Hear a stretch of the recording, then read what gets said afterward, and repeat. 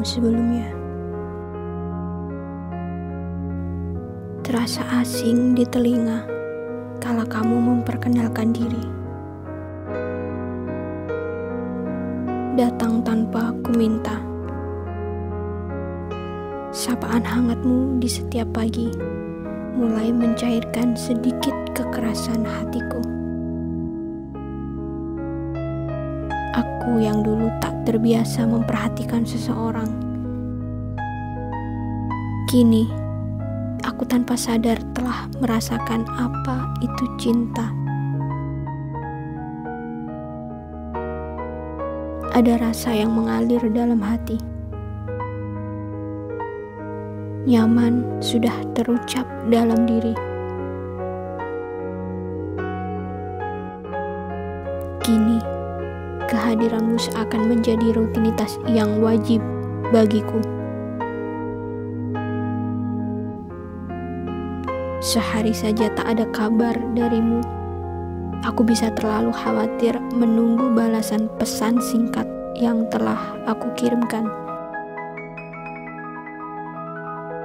Semakin hari, setiap ruang dalam hatiku telah terisi dengan puluhan cerita baru cerita yang seru dan terkadang haru.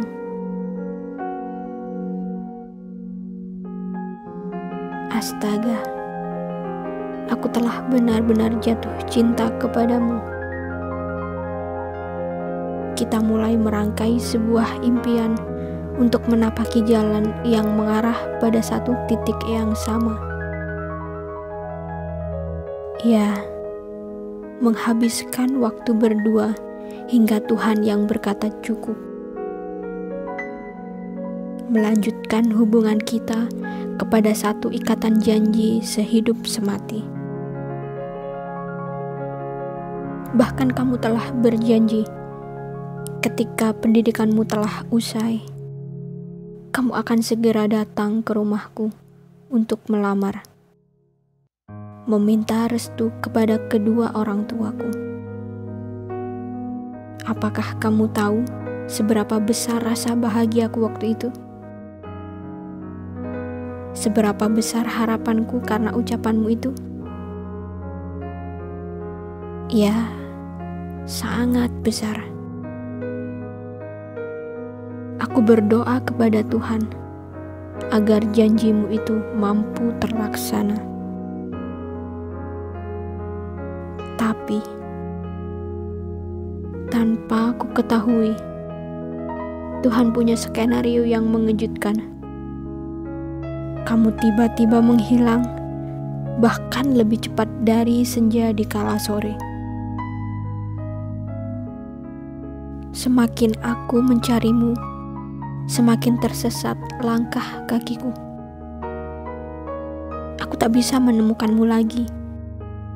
Aku telah kehilangan jejakmu Aku kecewa. Jatuh sejatuh-jatuhnya.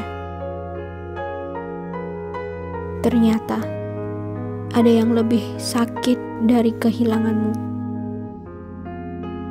Aku telah menggenggam sebuah kabar bahwa kamu telah melaksanakan janji itu dengan wanita lain.